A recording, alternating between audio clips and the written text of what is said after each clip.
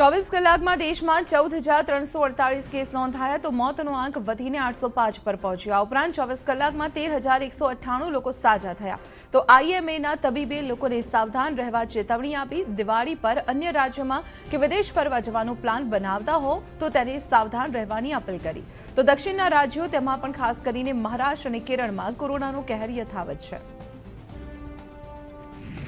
તહેવારોમાં કોરોનાનું સંક્રમણ વધુ ન ફેલાય તે માટે કેન્દ્ર સરકારે કોવિડ નાઇન્ટીન પ્રોટોકોલને ત્રીસ નવેમ્બર સુધી વધાર્યું કાર્યક્રમોમાં ભીડ એકઠી થતી હોવાથી સતર્કતા રાખવા માટે પણ ગાઈડલાઇન્સમાં ઉલ્લેખ કરાયો રાજ્યો અને કેન્દ્રશાસિત પ્રદેશોને પણ દરેક જિલ્લામાં સંક્રમણનો દર હોસ્પિટલની સ્થિતિ અને આઈસીયુમાં બેડની સ્થિતિ પર નજર રાખવા નિર્દેશ કર્યો આરોગ્ય મંત્રી મનસુખ માંડવિયાએ કરી ન્યુમોનિયા રસીની શરૂઆત બાળકોના મૃત્યુ દરમાં થશે સાહીઠ ટકા સુધીનો ઘટાડો સરકારે ન્યુમોકોલક કોન્જુગેટ વેક્સિનના રાષ્ટ્રવ્યાપી વિસ્તારની શરૂઆત કરી છે ડોક્ટર મનસુખ માંડવિયાએ આગળ કહ્યું બાળકો આપણા દેશનું ભવિષ્ય છે અને તેમને સ્વસ્થ જીવન આપવું આપણી જવાબદારી છે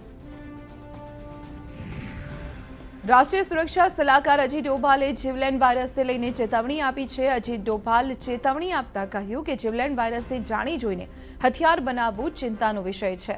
જેની સામે ભારતે નવી રણનીતિ ઘડવી પડશે. વધુમાં તેમણે કહ્યું કે આવી મહામારીનું સંકટ કોઈ કોઈ સીમા સુધી સીમિત નથી રહેતું. તેનો સામનો એકલા કરી શકાય તેમ નથી. નોકરિયાત વર્ગને સરકારની દિવાળી ભેટ છ કરોડથી વધુ પીએફ ખાતા ધારકોના એકાઉન્ટમાં જમા થશે વ્યાજ નાણાં વિભાગે પીએફ ખાતા ધારકોના એકાઉન્ટમાં વ્યાજની રકમ ટ્રાન્સફર કરવાની મંજૂરી આપી દિલ્હી નજીક ટીકરી બોર્ડર બાદ હવે ગાઝીપુર બોર્ડર પર બેરિકેડ હટાવાયા બેરિકેડ હટાવવાથી ગાઝિયાબાદથી દિલ્હી અવર જવાનો રસ્તો ખુલશે જોકે હાલ કૃષિ આંદોલનને લઈને પ્રદર્શનકારીઓનો બોર્ડર પર વિરોધ યથાવત છે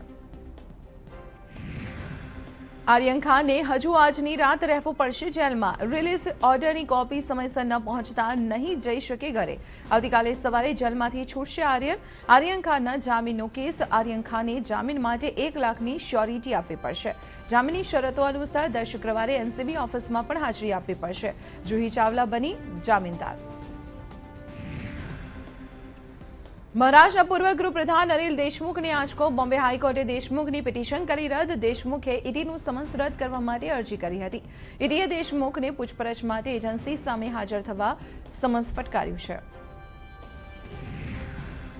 ચારધામ રોડ પ્રોજેક્ટ સુપ્રીમ કોર્ટમાં સુનાવણી. એટર્ની જનરલની રજૂઆત. આ રોડ માત્ર યાત્રા સાથે જોડાયેલો મુદ્દો નથી, બલકે સંરક્ષણ ક્ષેત્રને મજબૂત કરવા સંબંધિત પણ છે.